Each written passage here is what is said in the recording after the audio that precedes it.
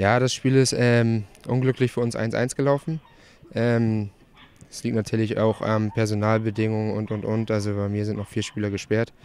Drei sind im Urlaub, zwei Stammspieler sind verletzt. Also zur Rückrunde wird es anders laufen. Dann nutzen wir auch unsere Torchancen, die wir in der ersten Halbzeit hatten. Ähm, und dann werden wir das Spiel in der Rückrunde auch gewinnen.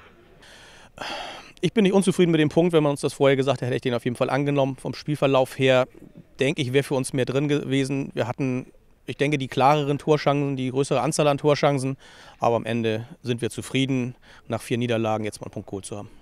Der Schiedsrichter hat sehr ordentlich gepfiffen, muss ich sagen. Der war sehr kleinlich, aber hat seine Linie die 70 Minuten durchgezogen und somit war es auch ein recht ordentlicher Schiedsrichter. Die Schiedsrichterleistung außerordentlich gut. Ich habe mich schon in der Halbzeit und am Ende nochmal bei ihm bedankt, weil es eine großartige Leistung war. Er hat endlich mal die Kleinigkeiten gepfiffen. Ähm, das Schubsen, das Halten, dies, er hat das Gemecker geahndet, hat zwei Spieler vom Platz äh, geschickt, deswegen, ich fand das sehr gut. Ähm, wir haben jetzt erstmal drei Wochen Pause, nächste Woche geht es in die Halle. Ähm, aber Rückrunde werden dann auch wieder die verletzten Spieler rankommen, wie eben schon gesagt. Ähm, dann kann man natürlich viel mehr ausschöpfen, viel mehr Potenzial ist dann in der Mannschaft und dann werden wir auf jeden Fall nach oben gucken.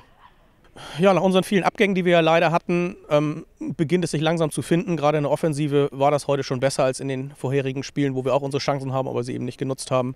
Und ich denke, dass das weiter zusammenwachsen wird und wir da durchaus noch Chancen haben, auch für Wiederspiele zu gewinnen.